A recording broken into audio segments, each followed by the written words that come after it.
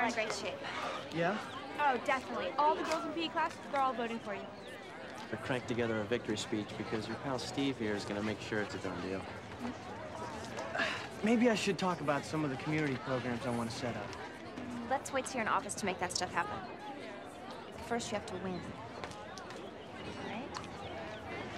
Yes.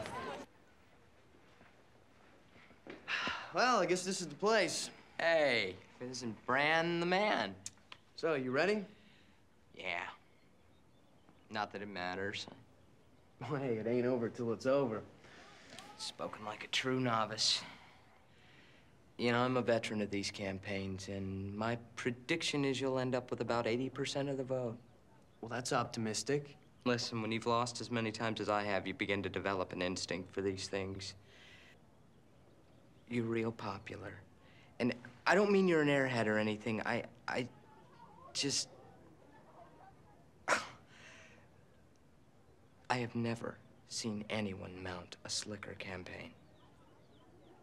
Thanks, but, uh, no one's gonna vote for a president just because they like their video. Or they shouldn't. You got a lot going for you, Mike. What? Well, like it says right here, all the extracurricular activities you've done, you, you volunteer work, you're in the honor society. You're really qualified. You were even a student intern at the state capitol last summer. Uh, you know, I am real interested in public policy, especially since it affects the homeless. Yeah, me too.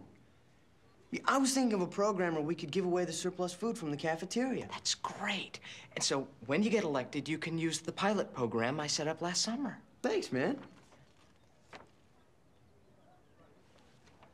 May the better candidate win.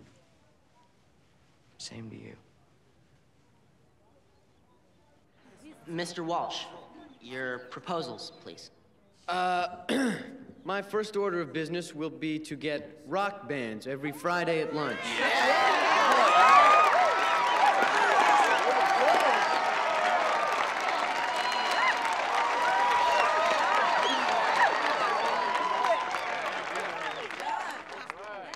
How do you plan to implement this? Well, uh, contact the bands. Uh, it's a little more complicated than that. There are releases and, and permits and uh, insurance. When I was Assistant Activities Committee Chairman, I uh, brought bands in for the proms. Uh, are you aware of all the red tape involved?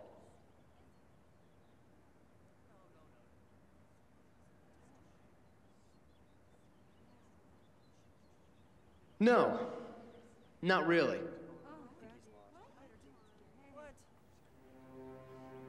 But you are.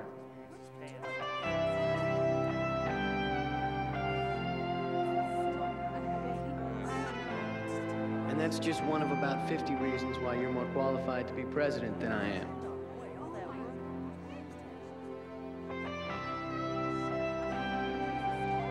And you've certainly run a more honorable campaign. What is he doing? This is not in our script. And that's the reason why I'm throwing my support to you.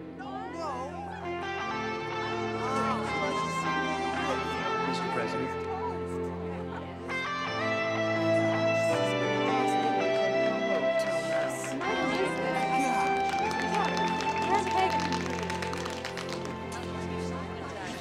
I cannot believe that I wasted two weeks of my life on this. Brandon, you blew it. I was gonna stuff the ballot box for you. That's the thought that counts, Steve.